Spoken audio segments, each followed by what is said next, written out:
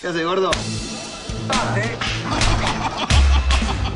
Básicamente Hermanos de es una comedia negra que cuenta la historia de un joven que aprende a ser mejor de lo que era.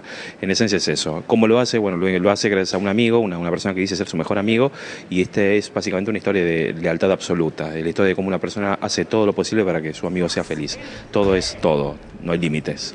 Es una persona que se, digamos, una persona que tiene problemas sociales, es un gordito que se siente rechazado y de pronto en su vida aparece un psicópata, concretamente, un psicópata que dice ser su mejor amigo. A partir de eso se empieza a desatar una serie de situaciones extremas que conducen a que el protagonista, Matías Timerman, el gordito, alcance su felicidad, lo quiera o no. Eh, supongo que hacer películas de terror en Argentina hace 10 años no era lo más habitual, no había referentes, no había referencias y creo que hoy nos hemos vuelto más creíbles y desde ahí hoy hay una gran cantidad de filmografía en Argentina, diría que hay una cantidad de películas importantes de género, cada tres o cuatro meses aparece una película de terror, una película de acción, una película de, suspenso, podemos citar desde Visitante de Invierno para acá, El túnel de los huesos, La plegaria del vidente, La memoria del muerto, Diablo, hay una cantidad de películas muy buenas que bueno, que están siendo están llegando a las salas y creo que tiene que ver con el cambio de la mirada.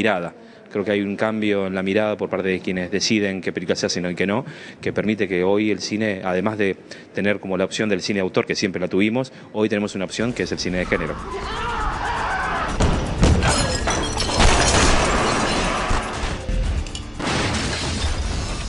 Hermanos de Sangre es un extraño híbrido de géneros que transita desde la comedia ligera la comedia negra y deviene hacia el policial de acción, con momentos también terroríficos, es decir, que es un multigénero. Si tendría que emparentarla con algún estilo, pienso siempre en Alex de la Iglesia, persona que admiro y respeto y que realmente siempre fue un referente para mí, en particular películas como Muertos de Risa.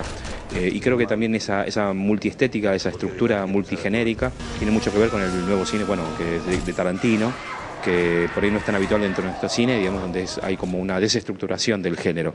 Entonces eh, transitamos como mucho, muchos espectros de la forma y es, eh, fue muy difícil en ese sentido, digamos, que no fuera un pastiche, o sea, que todo funcionara y que fuera fluido, orgánico dentro de la trama. Pero bueno, creo que la pica funciona. Tuvimos el privilegio de ganar el Festival de Mar del Plata el año pasado, premio que para mí fue completamente inesperado y del cual estoy muy feliz de que haya ocurrido. Y lo más importante en realidad, más allá del premio, porque a veces pasa que digamos, la crítica y el público van como por lugares diferentes y por algún motivo la pica tiene como muy buena respuesta de la crítica, pero a su vez a la gente le gusta, lo cual para mí es el verdadero premio y estoy muy contento, la estamos proyectando y la verdad que hemos tenido muy buenas devoluciones de la gente, a la gente le gusta y tiene una particularidad muy especial esta película, que es una película que está buena, es argentina y no está Darín. O sea, en general no suele ocurrir eso, en general parece que la gente solo le gusta las películas que están Ricardo Darín y esta película tiene una particularidad de estar buena y no está Ricardo. ¿Lo conoces? Falta la cabeza.